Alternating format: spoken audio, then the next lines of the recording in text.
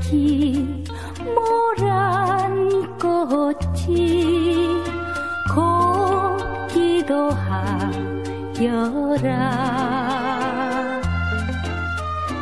나비 앉아 춤추던 그때도 있었지만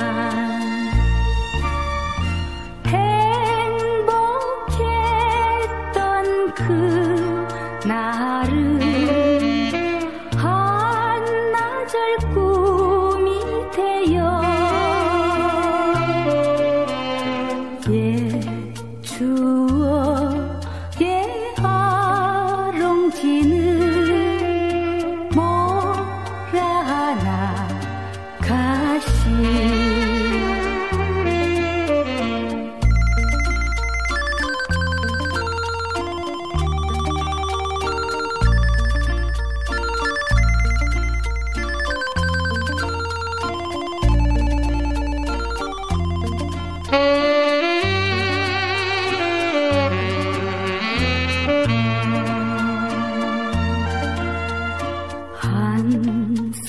송이 모란 꽃이 곱기도 하여라.